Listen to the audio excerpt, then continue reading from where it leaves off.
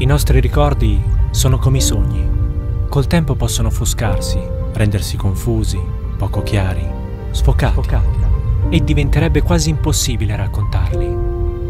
E allora potrei fotografarli, congelando il tuo ricordo in quell'istante irripetibile. Fantastico. Ma quando col tempo osserverai quella foto, ricorderai quell'istante come la tua mente vorrebbe ricordarlo e non forse come è venuto realmente.